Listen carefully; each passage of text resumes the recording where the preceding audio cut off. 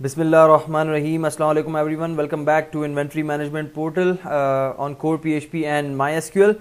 Uh, this is Ali Raza and today we are going to discuss uh, how to create a little bit uh, of dashboard uh, along with the side panel. Uh, but before starting with the dashboard, let me first recall some of the previous stored procedures that uh, I haven't demonstrated you by creating directly into the video. So I decided to tell you that also. So uh, let's see that. You can see here uh, these all are the stored four stored procedures that I have already created for you guys and you you have you might have seen in the previous lecture uh, about the stored procedures that I have created.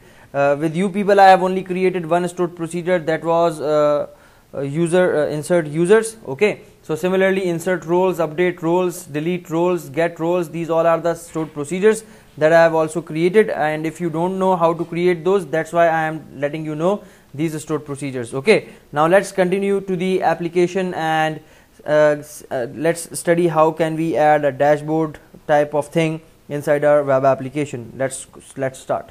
Alright guys. So the first of first of all what I can do I can create a new and um, let's create an HTML page uh, that belongs to or no uh, let's create a PHP page uh, that belongs to HTML5 and create.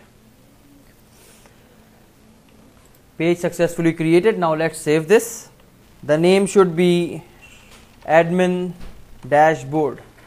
And my directories is already created here. Save it. Now guys to save time I have decided to give you a link that is this one. I'll give you this link or I have written this link in the description of this video. So you can take uh, you can click on this link and come on this page and, and click on the download button here and then download your this uh, simple sidebar master file. Okay? Uh, why I have done this I'll show you now. Uh, let's copy this and go to the uh, directory that we have created inside XAMPP and htdocs and inventory portal and paste it here. Let's open this bar and see what are the folders. Yes, so it has only one folder in it. Let's right click and extract here. That folder is added. Now remove this zip file here uh, from here and now let's go inside this. You can see there are so many things here inside this particular uh, directory let's go to the css and see there is one css simple sidebar. Let's copy this css and go back to our styles folder and come here and paste it. Okay? I have done that. Now let's go back to the uh, pages. Let's go to the vendor. And you can see here we have bootstrap the bootstrap css and the jquery and the simple jQuery. Okay, what we know that we have already added the bootstrap and the jQuery within our projects. Okay, so I'm not going to copy those bootstraps uh, and let's see what else we have. Uh, we have this page index.html. Uh, so let's first open this page and see what this bar is all about. You can see this is the thing that I wanted to implement inside my web application. So that's my index.cs uh, uh, index.html. Let's open this page here. So open and styles.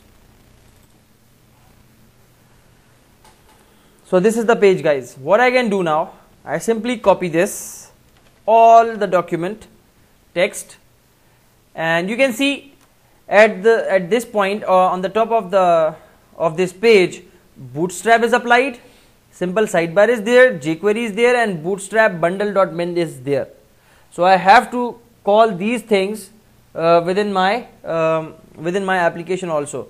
So let's copy this all and come here in admindb.php select all and remove this and control v. I have just copied and pasted that code here inside my php page. Okay now what we, we have to do, we have to update the links. We have to update the links. So first of all bootstrap.min.css. Let's update it to our bootstrap.min.css. Browse and let's go back, go to the styles and bootstrap.min.css. That was the file and select. so that's my directory link so you have to update your links simple as that now simple sidebar so let's do that also.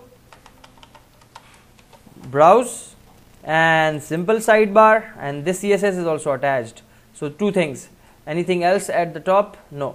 Title. Title should be removed. Here you can write here dashboard let's say. Save. And uh, let's go back go downwards and see do we have scripts? Yes we have scripts also so scripts are written here so jquery.min.cs sorry js so let's apply jquery.min so browse and select our jquery inside the scripts folder that is this one I have this jQuery, right? And bootstrap.bundle.min. Do we have bootstrap.bundle.min? Let's check it. So browse, and yes, we have inside the sorry uh, bundle.min JS JavaScript. I hope it is clear to everyone. So I have applied these things also, and the rest of the code I am not going into detail. Just I have copied and pasted, and I have updated the links. That's it. Okay. Now I wanted to check whether this works for me or not. I am closing this index.html because I don't need this uh, at all now. Close this. Okay, let's execute this page. That's my admin DB dashboard. So you can see guys, everything is working in a perfect manner.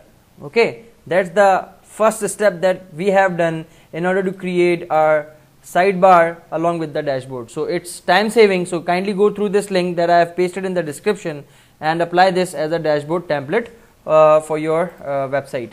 Now the next step is you can change these things. You can change the internals of this uh, just like we have a dashboard like of type of stuff. Okay. So let's go inside this and let's remove what we have to do first.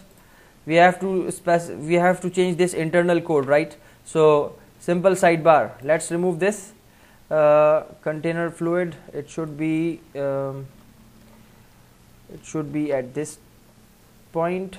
Uh, remove. Okay. So container fluid. That's done. Let's go back and refresh the page. You can see now its internal is clear. Now toggle menu. You can write here um, anything or open close whatever you can write here. Okay. Any name dashboard uh, now that, that's my menu so here what I wanted to do first of all I have created two two tables inside my database uh, that was roles and the users so I should create here roles and the users in the uh, menu so what can I write here short instead of uh, let's go back to the sidebar here so I wanted to replace dashboard with respect to the sorry shortcut with respect to the roles so shortcut with respect to the roles management. Then we have the users management and then we have suppliers. This is the future work that we will do, okay. And then we have um, products. Then we have stock, let's say, and so on. So keep till this point. Now refresh. You can see things are getting in shape. Okay? Here you can specify your uh, uh, website name. Let's say uh, start bootstrap is the heading here. So let's specify here let's say a cube and for superscript I'm specifying 3 something like this. And then IT solutions let's say save and come here and refresh. Got it? So this is how you can do your stuff. Okay so hopefully you have understood how to create a dashboard like uh, view for your uh, application. Now uh, in the next lecture we will see the further things with respect to this uh, project we'll uh, join everything together we'll combine we'll authenticate our data we'll create here some other things uh, like uh, data insertion updation deletion and all the stuff with respect to the php okay? So uh, that's all for today. Hope you have learned this thing. Uh, thank you so much. Take care. Allah hafiz